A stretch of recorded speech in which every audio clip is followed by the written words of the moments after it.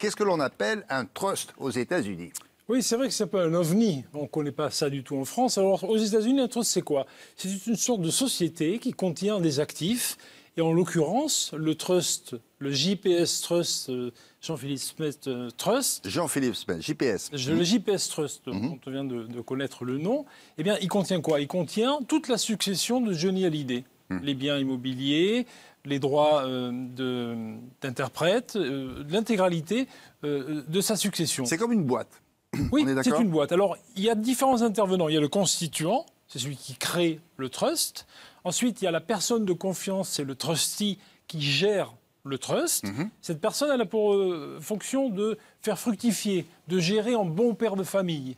D'accord. C'est ce qu'on dit en, C'est une personne privée, ça peut être une banque hein, d'ailleurs. Alors, aux États-Unis, ce sont des professionnels.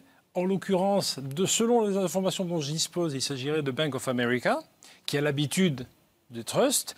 Les trusts, c'est très fréquent aux États-Unis. On crée des trusts pour un peu tout et n'importe quoi. Et en l'occurrence, on crée des trusts pour les successions et notamment pour optimiser la fiscalité. C'est une fusée à plusieurs étages parce que Johnny Hallyday, on disait que c'était un piètre gestionnaire, mais en, réalité, tout ça est très bien ficelé parce que vous avez plusieurs trusts. D'abord, il y a un crédit trust qui sert à payer les droits de succession, les obsèques, euh, différents impôts. Et puis après, il a créé un marital trust. Ce marital trust, à quoi il sert? Il sert à maintenir le niveau de vie de Laetitia Hallyday tel qu'il a été jusqu'à maintenant. Donc elle se sert de ça, elle vit avec ça. Et puis, on continue avec les trusts. deux, trusts, de sous-trusts pour Jalen Joy voyez Donc, euh, ce sont les avocats américains qui ont créé tout ça. Hum. Donc, comme je le disais, on, croyait que Johnny. Euh, non, non, non, non, Enfin, cela dit, il était très bien euh, conseillé par vos confrères, probablement. Je, souhaite bon courage à mes confrères français qui défendent Laura et, et David, parce que, ah parce que cette construction est extrêmement bien faite, solide, et il va falloir assigner. Assigner qui? Le trustee. On ne sait pas encore qui c'est. Est-ce qu'on va le savoir, ça, tout à l'heure? A priori, oui, parce que entre avocats, il y a euh, ce qu'on appelle le respect du contradictoire. Donc vous devez soumettre vos pièces. Donc ils sont obligés, du côté des avocats de Johnny Hallyday, de son avocat donc à Paris, euh, de dévoiler le nom du trustee. Va-t-il le faire? Je l'ignore, on le saura un peu plus tard cet mmh. après-midi. Et dernier point très important, les frais de justice de Laetitia Hallyday. Mmh si elle est assignée, ils seront payés par le trust. Oui, non, mais le trust, c'est comme un compte en banque, ça sert à tout ça. C'est divisé pour mieux épargner. Et dans ce trust, non, mais économiser. Elle puise là-dedans, c'est fait pour ça. Et puis, William, dans ce trust, il y a des millions d'euros, de dollars en l'occurrence. Et s'il y a de combat juridique, judiciaire, hmm. tel que euh, il apparaît que ça pourrait se passer ainsi, eh bien, Laetitia, elle va avoir tout l'argent euh, les avocats américains, américains facturent 1000 dollars de l'heure. Oui, pareil. c'est le trust qui va payer les frais juridiques. Donc si combat juridique il y a, elle a les moyens de le faire durer pendant des années. une petite parenthèse, est-ce que le trust va payer les, ce qu'il doit au fisc français, euh, Johnny? Oui.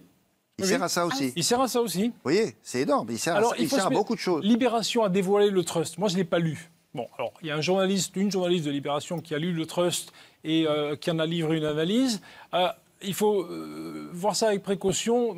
J'aimerais l'avoir lu euh, pour, être plus précis. Ah bah c'est pas vous qui êtes l'avocat, c'est pas vous qui. C'est peut-être l'avantage de la France parce qu'on a des euh, notaires et aux États-Unis il n'y a pas de la notion de notaire, il n'y a, que des avocats. Voilà, moi par exemple en tant qu'avocat, je ne peux pas faire de succession en France, mais par contre en tant qu'avocat barreau de Californie, je peux. Il n'y a pas de notaire hein, aux États-Unis. Il n'y a pas de notaire, c'est vrai.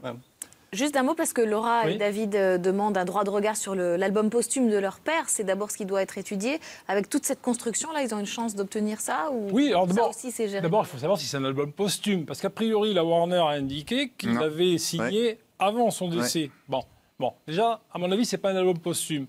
En revanche, le droit de regard, oui, ils peuvent le demander.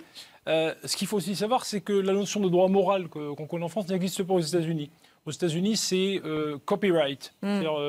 Euh, euh, droit de propriété intellectuelle. Et tout dépend quel est le droit qui, qui, qui prime, si c'est le droit américain ou le droit français. et ça, c'est pas fini. Tout va dépendre de ça. et, on, est parti, sauf s'il y a une transaction entre-temps. C'est possible, ça aussi. Mais vous savez, ils ont commencé par l'appeler Laetitia Boudou. ça... bah, ils ont mis la barre très haut là, pour, faire, pour être désagréable. Ça augure, assez, ça augure, assez mal d'une transaction, mais transaction peut toujours arriver, mais s'il n'y a pas de transaction, ça peut durer des années, 10 ans, même plus. Merci, merci maître, maître